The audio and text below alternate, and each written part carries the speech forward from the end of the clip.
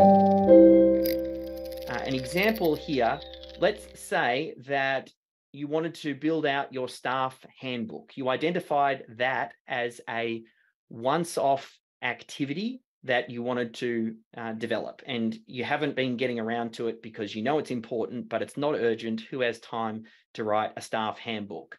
So you could use ChatGPT to significantly accelerate this process. Now, one of the prompts that I gave you in the act as if is this HR expert here, and I'm going to copy now my human resources expert. And I'm going to jump back here and paste that in.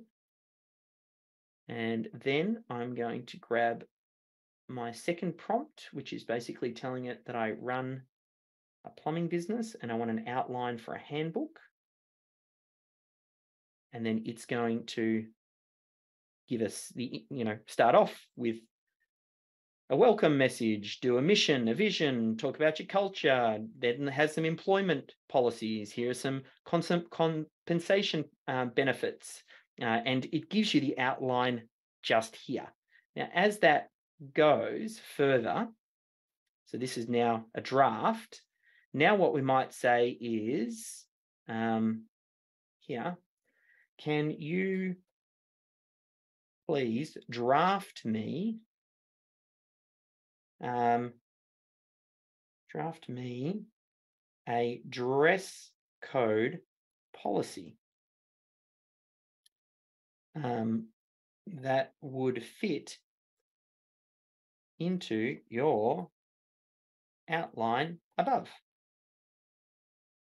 And then it goes off and now drafts you a policy. Now you can do other things to feed in, but look, it's saying here it's it's adding in it's plumbing business. So you need to wear clothing appropriate for plumbing, that it's safe and generally acceptable uh, as professional. What like this is and talks about safety gear. Now, if I asked it to do the same thing for a dress code for a systemologist, it doesn't mention any of this. It doesn't say that they need to wear a hard hat and particular safety equipment, and it makes adjustments accordingly. Like this already, like I know the business owners and really everybody on this now is probably having smoke just shoot out of their ears, going, wow, I can't believe what is possible here. But if you understand that this is a starting point and that uh, you can then start to uh, for once off tasks, you then use the skilled team member who builds their brings their own smarts and then tailors it for your business further.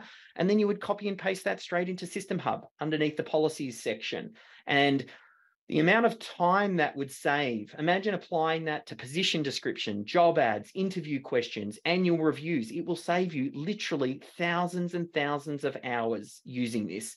It will make your team infinitely more efficient when they get this stuff I hope you enjoyed that clip. Just a heads up, it was a snippet taken from the Business Systems Accelerator program, which is the world's first training for systems champions to help you build a systems driven organization.